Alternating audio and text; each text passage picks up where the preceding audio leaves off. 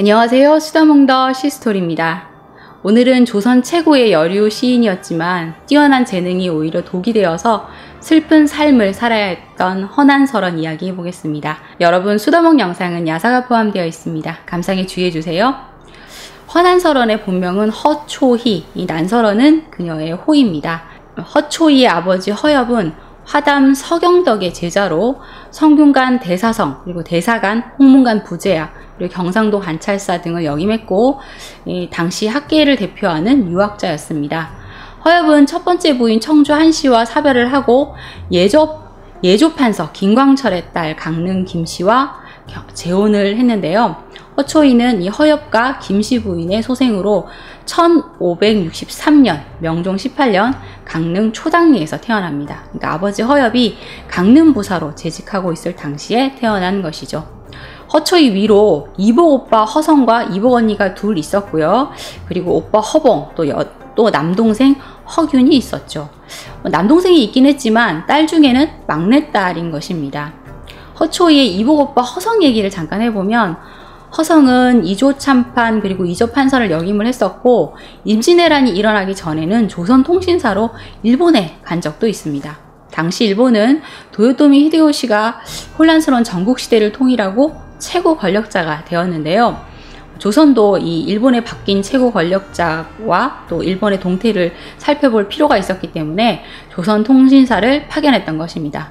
이때 파견된 통신사가 황윤길, 김성일 그리고 허성이 있었, 있었던 것이죠. 조선 통신사가 일본을 방문하고 돌아온 후에 선조가 그래 일본 분위기는 어떻더냐 조선을 쳐들어올 것 같더냐 라고 물었는데 황윤길과 허성은 도요토미 히데요시는 야심이 있습니다. 분명 쳐들어올 겁니다. 라고 얘기를 했고 김성일은 아예 그런 까미 못 됩니다. 절대 안 쳐들어옵니다. 라는 얘기를 했죠. 쳐들어온다가 2고 쳐들어오지 않는다가 1인 것인데 선조는 김성일의 입장을 지지합니다. 하지만 일본은 결국 조선을 쳐들어왔고 1592년에 임진왜란이 발발하게 되었죠. 허성은 임진왜란이 일어났을 때에도 강원도 소모사 이천분조의 강관을 역임하면서 군병 모집에 힘쓰기도 했습니다. 허성은 굉장히 정직하고 충효에도 힘쓰고 옳은 일을 끝까지 관철시키는 인물이었으며 또 문학과 성리학으로 이름을 떨치기도 했습니다. 이 초당 허씨 집안은 이 아버지 허여 그리고 조금 전 언급했던 오빠 허성 그리고 작은 오빠인 허봉 그리고 허초이 그리고 남동생 허균까지 모두 다 문장이 뛰어난 집안이어서 오문장이라고 불렸다고 합니다. 아, 이건 유전자의 힘인지 집안 분위기의 힘인지 알 수가 없지만 모두들 문제로 뛰어난 재능을 발휘했던 겁니다. 난설원 집의 발문을 써준 유성룡이 이러한 허씨 집안의 모습을 보고 야, 허씨 문 중에는 어찌 이리 기재가 많은고 하며 감탄하는 말을 하기도 했다고 합니다. 이런 가족들의 문학에 대한 천부적인 재질과 돈독한 형제애, 그리고 당시 허초이가 자란 그 초당 마을은 경포호수가 있고 또 동해를 끼고 있고 또 아름다운 해송이 있는 그런 곳이어서 허초이의 예술가적 기질을 더 발전시키는데 도움이 되지 않았을까 싶습니다. 이 소녀 시절의 허초이는 화목한 가족들과 함께 행복하게 지냈고 뭐 외모도 아름답고 일찍부터 뛰어난 재능을 발휘해서 집안의 귀여움을 독차지했다고 합니다. 8살 때는 신선세계에 있는 상상의 궁궐인 광안전 배공루에 상냥식에 자신이 초대되었다라는 상상을 하면서 광안전 배공루 상냥문을 지었는데 그 내용이 너무 뛰어나서 와 과연 신동이구나 라는 말을 듣기도 했다고 합니다. 이 가족들이 다 문장에 뛰어났지만 허초이에게 가장 큰 영향을 준 것은 오빠 허봉이었는데요. 허봉은 시도 잘 짓고 문장에 능해서 많은 저서를 또 남겼지요. 허봉은 어린 나이에 대가에 급제를 해서 교리가 되었는데 그 모습을 보고 허초이도 아, 나도 이 재능을 마음껏 펼칠 수 있는 날이 오지 않을까라는 꿈을 가지게 됩니다. 아버지 허엽은 당시 조선사회의 분위기와는 달리 아들딸 구별 않고 재능을 키워주는 교육을 했었는데 여러 학자들과 토론을 하면서 자신의 학문적 견문을 넓히고 또 그것 또 그것을 자녀들과 함께 나누는 그런 사람이었습니다. 사실 스승 서경덕의 사상을 이어받고 있어서 이 도가 사상에 심취해 있었는데요. 인간과 자연, 남자와 여자를 차별하지 않는 인생관을 가졌고 또 지나친 법도나 규율에 얽매이지 않는 태도를 가졌기 때문에 자녀들에게 큰 영향을 끼쳤던 것 같습니다. 당시는 성리학이 조선사회를 지탱하는 사상이 되고 여인의 사회적 활동에 제약을 받던 시대인데 아버지가 이런 도가 사상을 가지고 또 남녀 차별하지 않고 딸에게도 이런 교육을 시켰기 때문에 허초이는 당대 여인들과는 좀 다른 모습으로 성장할 수 있었던 것이죠. 또 오빠 허봉은 동생인 허초이와 허균을 이 손곡 이달에게 문학 수업을 받도록 해줍니다. 이달은 당대에 손꼽히는 시인으로 최경창, 백광훈 들과 함께 백강훈과 함께 3당이라고 불릴 만큼 뛰어난 시인인데요.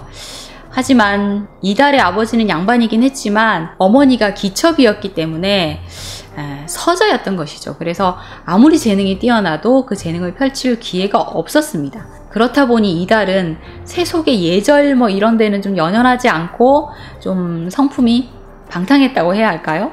그런데 이런 성품인 것을 잘 알면서도 이 두 동생 두 동생 또는 두 자녀의 교육을 맡긴 이 초당 집안이야말로 와, 정말 깨어있는 집안이라고 해야 할까요? 허초이는 이 이달에게 수업을 받으면서 스승의 뛰어남에도 감탄을 했지만 또 신분의 벽에 가로막힌 이 스승을 보면서 부조리한 조선사회의 한계를 깨닫게 됩니다.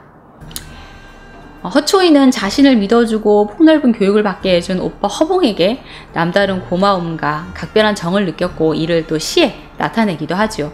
또 동생 허균을 무척 아꼈는데 어린 시절 어느 날 허균이 허초이에게 시를 한표 써서 이렇게 보여줍니다. 여인이 흔들어 그네를 밀어보낸다 라는 구절이 있었는데 허초이가 그 자리에서 문 앞에는 아직도 애간장을 태우는 사람이 있는데 백마를 타고 황금 채찍을 하면서 가버렸다 하고 고쳐준 적도 있다고 하네요. 허초이의 시에 가장 많이 등장하는 꽃이 난초입니다.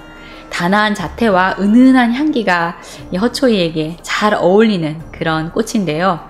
또 눈이라는 단어 역시 허초이의 시에 자주 등장을 하는 단어인데 뭐 눈은 세상을 하얗게 덮어주는 존재이니까 여성을 억압하고 또 자신을 괴롭히는 현실을 잠시나마 보이지 않게 덮어주는 그런 눈을 자주, 자주 등장시켰던 것이죠. 허초이가 난설원이라는 호를 짓게 된 것은 이 난초와 눈을 사랑해서인 것 같습니다. 사실 허초이는 스스로 시인 난설원이 되기를 원했으니까 이제 난설원으로 부르도록 하겠습니다. 15살이 된 허난설원, 어, 안동 김씨 집안 교리 김첨의 아들 김성립과 혼인을 하게 됩니다. 오빠 허봉이 김성립의 아버지 김첨과 사가독서 동기예요. 사가독서는 임금님이 하사하는 휴가라는 뜻의 모임인데요. 이 모임에서 허당은 뭐 동생 얘기를 했고 김첨은 자신의 아들 얘기를 서로 건네면서 그럼 우리 사돈을 한번 맺어봅시다 하며 두 사람의 혼인이 진행되게 된 겁니다. 하지만 허난설원은 자신의 의사를 전혀 물어보지 않고 그대로 진행되는 이 결혼이 전혀 마음에 들지 않았죠. 그래서 나는 내 신랑감은 직접 보고 선택을 하고 싶다 하며 신랑감을 집에 초대를 해주면 몰래 보고 마음에 들면 결혼을 하겠다라면서 아버지에게 간청을 했는데 아무리 개방적인 교육을 하던 허엽이라도 이건 조선의 법도에 어긋나는 일이었기 때문에 이것을 받아들이지 않죠. 허난서른은 그렇다면 내가 직접 가서 보고 와야지 하며 이 김성립의 집에 가는 아버지를 몰래 따라갑니다. 그리고 허엽이 김성립의 집에 딱 들어서자 자연스럽게 안으로 들어가서 허엽의 등 뒤에 딱 서요. 허엽은 허난서른을 보고 기겁을 합니다. 딸이 남장을 하고 남편감이 될 사람의 집에 따라온 것이죠. 그러니까 주인을 따라온 남자 노비의 옷차림을 하고 이제 예비 시댁과 예비 신랑감을 염탐하러 온 것인데 다행히 들키지 않고 뭐 잘 넘어가긴 했지만 아버지 허엽은 무척 당황했을 것 같습니다. 사실 그때 이 허난설원은 예비 신랑감인 김성립을 보고 마음에 들지 않았어요. 외모도 마음에 안 들고 뭔가 쫌생이 같아 보인다면서 저 결혼 안 할래요 하면서 결혼을 거부했다고 합니다. 하지만 부모가 정한 결혼을 여인이 물릴 수 없는 그런 조의, 조선 사회다 보니 헌한설원은 결국 김성립과 결혼을 하게 되고 이 결혼을 하면서 헌한설원의 불행이 시작되었다고 할 수 있겠네요.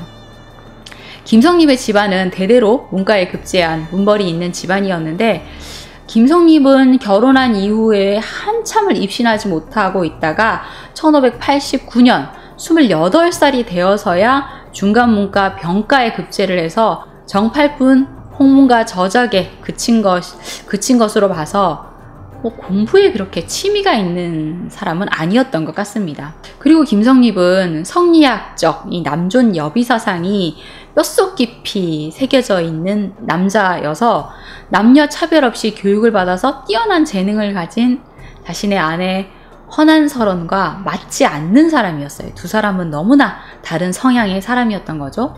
그리고 김성립은 자신보다 재능이 뛰어난 아내를 수용할 그릇이 아니었습니다. 김성립은 혼인을 한 후에도 뭐 아내에게 정을 주지 않고 밖으로 나돌, 나돌았고 또 바람기가 있어서 이 과거 준비를 한다는 핑계로 집에 잘 들어오지도 않고 기생을 가까이 하면서 이 난설원의 속을 태웁니다. 남편 김성립이 한강변 서재에서 공부를 한다고 했는데 들려오는 소문에 따르면 기생들과 어울려서 노느라고 글공부도 제대로 안 하고 있다는 그런 소문이 들리는 겁니다. 이 소문을 들은 난설어는 답답한 마음을 시로 표현합니다. 제비는 처마에 비끼어 쌍쌍이 날고 지는 꽃 어지러이 비단 옷에 스치네 방에서 기다리는 이 봄 마음 슬픈데 푸른 푸르러도 강남 가신님 돌아오지 않네. 남편이 기생하고 어울려 논다고 남편을 이렇게 비난하는 시를 쓸 수 있는 조선 여인은 헌한설원 뿐이 아닐까라는 생각이 드네요. 또 헌한설원은 남편과도 이렇게 사이가 좋지 않았는데 시어머니와도 잘 지낼 수 없었습니다.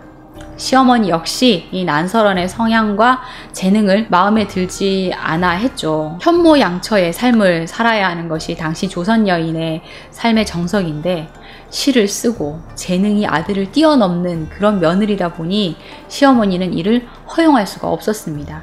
시어머니는 이 난설원을 구박하고 고달픈 시집살이를 시켰는데요. 헌한설원은 이 여러 가지 슬프고 힘든 마음을 시로 달랬는데 사실 갈등을 속으로 삭히지 못하고 남편을 미워하는 마음을 시로 많이 표현을 하죠. 원컨대 이승에서 김성립을 이별하고 죽어서 길이 두목지를 따르리라. 여기서 말하는 두목지는 이 중국의 뛰어난 시인으로 하루빨리 남편과 헤어지고 죽어서 저승에 있는 이 두목지를 만나고 싶다라는 시를 지을 정도로 남편을 싫어하고 두 사람의 사이가 좋지 않았던 것이죠. 자, 그런데 불행은 연이어 오는 것인지, 어, 이 헌한설은 아들과 딸을 낳았었는데, 어, 이 둘을 연이어서 잃게 되고, 또 임신을 했었는데, 임신한 아이까지 유산이 되면서 이 슬픔이 극에 달하게 됩니다.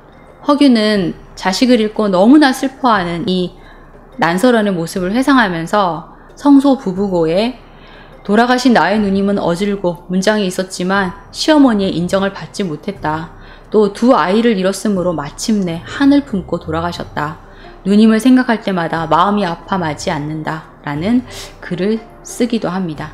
그리고 학산 초담에 오호라 살아서는 부부 사이가 좋지 않더니 죽어서도 제자, 제사를 받들어 모실 아들 하나 없구나. 아름다운 구슬이 깨어졌으니 그 슬픔이 어찌 끝나리 하며 아이들을 잃은 누님의 찢어지는 마음을 대변하는 시를 뭐 담기도 합니다. 헌한설어는 아들, 딸을 잃고 슬픔에 가득 차서 또 시를 한 편 쓰는데요. 그 시를 읊어보도록 하겠습니다.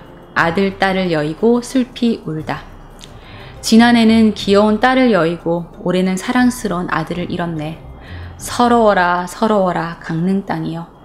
두 무덤 마주보고 나란히 서 있구나. 사시나무 가지엔 쓸쓸한 바람 불고 도깨비불 숲속에서 번쩍이는데 지전을 뿌려서 너의 혼을 부르고 너희들 무덤에 술 부어 제사를 지낸다. 아, 너희 남매가 가엾고 외로운 혼은 밤마다 정답게 놀고 있으리. 이제 또다시 아기를 갖는다 해도 어찌 잘 자라기를 바라겠는가. 부질없이 황대사를 읍졸이나 애달픈 피눈물에 목이 메인다. 자, 이렇게 헌한설원이 슬픔에 잠겨 있을 때, 이 헌한설원의 친정집에도 불행이 닥칩니다. 환한설원을 지극히 사랑해주던 아버지 허엽은 이 그녀가 18살이 되던 해 경상 경상 감사벼슬을 마치고 서울로 올라오던 중 상주 객관에서 돌아가셨고 어머니마저 동생 허균과 지방에 갔다가 세상을 떠나게 됩니다. 그리고 오빠 허봉은 허난서른이 21살 때 동인에 속한 학자들과 이 율곡 이의를 논하다가 죄를 얻어서 갑산으로 귀양을 갑니다. 허봉은 홍무강 동료인 예조판서 유성룡 그리고 아버지와 동문인 영의정 노수신의 도움으로 3년 귀양살이를 하다가 풀려났지만 결국 벼슬자리에는 다시 오르지 못하게 되죠. 그리고 그 길로 백운산, 뭐 이천, 순천 등지를 방랑, 방랑하다가 1588년 금강산에 들어갑니다. 그리고 답답한 마음을 술로 달래던 허봉은 병을 얻어서 33살 이 젊은 나이에 객사하게 되죠. 아버지를 잃고 어머니를 잃고 또 오빠까지 잃은 허난설원은 너무나 비통해합니다. 그리고 죽은 오빠를 그리워하며 또 붓을 들게 되죠. 어두운 창가에는 촛불 나짓기 흔들리고 반딧불은 높은 지붕을 따라 넘는구나. 고요 속에 깊은 밤은 추워가는데 나뭇잎은 쓸쓸하게 떨어져 흩날리네. 산과 물이 가로막혀 소식도 뜸하니 오빠 생각이 이 시름을 풀어낼 수가 없네. 청경궁에 계신 오빠를 멀리서 그리워하니 텅 빈 산속 담쟁이 사이로 달빛만 밝아라. 이렇게 사랑하는 사람들을 잃은 허난 서른은 허난 서른은 삶의 의욕을 잃어버렸고 깊은 슬픔과 한에 빠져버립니다. 허난 서른은 나의 불행은 세 가지인데 첫째는 조선에서 태어난 것이요 둘째는 여성으로 태어난 것이요 셋째는 남편과 결혼 생활을 한 것이다 라며 한탄하는 말을 하기도 했다고 합니다. 자, 이렇게 삶의 의지를 잃고 하루하루 죽지 못해 살아가던 허난설원은 아끼던 동생 허균마저 귀양을 가게 되자 더 이상 슬픔을 참지 못하고 27살 젊디 젊은 나이로 세상을 마감하게 됩니다. 허난설원의 비 뒤편에는 그녀의 죽음을 자신이 미리 예견한 듯이 23살에 쓴 절명시가 새겨져 있습니다. 꿈에 광산산에 논일다 푸른 바닷물이 구슬바다에 스며들고 파란 난새는 아롱진 난새에 기대었구나. 부용꽃 27송이가 휘늘어져 붉은빛 설이 찬달 아래 떨어지네. 부용꽃 27송이 그러니까 연꽃 27송이가 붉게 떨어진다는 것은 자신이 27살에 요절할 것을 예견한 것이 아닌가 싶네요. 환한설원은 죽기 직전에 자신이 쓴 모든 시를 불태우라는 유언을 남겼고 그렇게 그녀의 시들은 모두 불태워집니다. 환한설원이 죽고 남편 김성립은 바로 후처로 이 남양 홍씨를 맞아들이는데요. 이때 임진왜란이 일어났고 김성립도 32살의 나이로 사망을 하는데 시체를 찾지 못해서 의복만으로 장례를 치렀다고 합니다. 헌한설원의 시가 이렇게 모두 불태워졌다면 지금 우리는 그녀의 시를 어떻게 접하게 되었을까요? 동생 허규는 누나의 시가 이렇게 잊혀지는 것이 안타까웠기 때문에 자신이 기억하고 있는 이 누나 허난설원의 시를 정리하고 이 남았던 유고를 모아서 난설원 집을 펴내게 됩니다. 누나의 시를 아, 이렇게 많이 외고 있었다니 허균도 정말 머리가 좋은 사람이긴 했던 것 같네요. 난설원 집의 발문은 유성령이 써서 시집을 완성을 했는데 이 임진왜란 기간이었기 때문에 정식 출간을 미루고 있는 상태였는데 이 정유제라는 시기에 중국에서 사신으로 왔던 오명제가 신라 시기부터 조선 시기에 이르는 100여 명의 문집을 수집을 해서 중국에 소개를 했는데 이 문집 사이에 헌한설원의 이 시문집도 섞여 있었던 겁니다. 오명재는 조선에서 수집한 문집에서 좋은 시를 발췌해서 조선 시선이라는 책을 펴냈는데 그 책에 헌한설원의 시가 이렇게 같이 들어가 있었고 이 시들은 중국에서 선풍적인 인기를 끌게 됩니다. 1606년 조선을 방문한, 방문한 중국 사신 주지번은 허균을 만나서 내가 진짜 당신 누나 헌한설원의 시를 읽었는데 어, 너무 좋더라 하면서 이 난설원의 시에 큰 관심을 표했는데 허균이 뭐 기뻐하면서 누나의 시건을 이 주집원에게 선물을 했고 주집원은 너무나 기뻐하고 감탄을 했다고 합니다. 허균이 또 주집원에게 난설원 집에 서문을 써달라고 요청을 했고 주집원은 기꺼이 서문을 써주어서 1608년 난설원 집이 드디어 간행되게 되는데요. 이 난설원 집은 중국에서 선풍적인 인기를 끌며 베스트셀러가 됩니다. 허난설원의 시를 싣고 있는 고급 야사는 허난설원을 중국 대표 시인인 이태백과 강엄에 견주면서 허난설원의 신령한 기백은 이태백조차 뒤로 물러나게 한다. 강엄 역시 허난설원 문장의 아름답고 화려함 때문에 자리를 피하게 된다. 그녀의 문장은 지난해 고금 수준에 도달하고 있다 하며 극찬을 하고 있습니다. 그리고 이웃나라 일본에도 이 허난설원의 시집이 전파가 돼서 큰 인기를 누렸다고 하네요. 여인이 쓴 시여서 조선 문인들은 사실 허난설원의 시를 하찮게 여기고 있었는데 아무런 편견 없이 그녀의 시를 받아들인 중국과 일본은 이 허난설원의 시에 허난설원의 시에 열광했던 겁니다. 자, 그런데 이 허난설원의 시가 표절 시비에 놓이게 됩니다.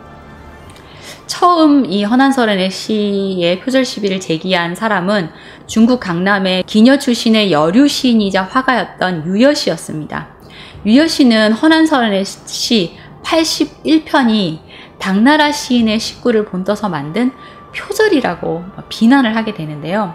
실제로 이 허난설원의 시 여러 편의 뭐 구절들이 이 당나라의 유명 시인들이 쓴 시의 구절과 흡사한 부분들이 있습니다. 사실 허난설원의 시집 속 시들은 어렸을 때 존경한 시인들의 이 시작을 참고해서 지었던 습작시가 함께 들어있던 것인데요. 어렸을 때 자신이 좋아했던 당나라 시를 모방해서 습작을 많이 했고 또 이후에는 창작을 하는 단계에 이르렀던 것입니다. 당시는 당나라 시에 대한 향수가 많았을 때이고 당나라 때의 시의 그 시기를 빌려와서 재창조를 하는 그런 시가 쓰이는 사례가 많았습니다. 지금으로 따지면 일종의 오마주 같은 것인데요. 난설은 역시 그런 습작들을 많이 남겼는데 허균이 외우고 있던 누이의 시를 기록했다면 이 어린 시절의 습작도 함께 기록이 되었던 겁니다. 그리고 누나의 시를 복원하면서 허균의 입김과 이 시어가 살짝 들어갔을 그럴 가능성도 있지 않나 싶은데요. 난설어는 이렇게 습작 단계를 거쳐서 독창적인 시어를 쓰는 단계에 이르렀던 것인데 만약에 난설원이 본인 시를 정리해서 뭐 시집을 낸다고 한다면 이 표절 시비가 있는 습작들은 따로 분류해서 시집에 넣지 않았을 것 같다라는 생각을 해봅니다. 음, 허균도 사실 행복한 삶을 살았던 인물은 아니었고 결국 영모 혐의로 고발돼서 능지처참을 당하게 되는데요. 조선은 허균을 더 큰 죄인으로 만들기 위해 중국에서 이 허난설원의 시가 표절 시비가 붙자 보잘것없는 여인 내의 표절시다라는 프레임을 입혀서 허난설원의 시를 폄하해 버립니다. 나름 끼어 있었다는 조선 후기의 실학자들도 허난설원의 시를 폄하하는 말을 남겼는데요. 연암 박지원은 규중 여인이 시를 짓는 것은 아름다운 일이 아니다 라는 말을 했고 그리고 홍대용은 청나라 지식인 반정균이 이 난설원의 작품을 칭찬하자 아, 이 부인의 시는 경지가 높긴 하지만 그 행실은 시보다 좀 떨어집니다. 라는 말을 합니다. 그러자 반정균이 아름다운 여인에게 못난 남편이 따르게 되었으니 어찌 원망이 없었겠습니까? 하며 오히려 허난 설원을 두둔하는 말을 했다고 합니다. 아니, 외국 사람이, 외국인이 오히려 조선의 시인을 두둔하는 말을 했다고 하니까 참 이상한 상황인 거죠. 남성을 뛰어넘는 천재 여류 시인을 담기에는 조선이라는 그릇은 너무 작은 그릇이 아니었나 싶네요. 제가 이번 영상을 준비하면서 이 허난설원의 시선집을 꺼내서 다시 한번 읽어봤는데 어, 아름답고 슬픈 이 난설원의 시가 가슴에 콕 박혔습니다. 자, 오늘은 시대가 담지 못한 조선의 천재 여류시인 허난설원 이야기해 보았습니다. 여러분 오늘의 이야기 재밌으셨다면 좋아요, 구독, 알람 신청 부탁드립니다. 지금까지 수다몽더 쉬스토리였습니다. 감사합니다.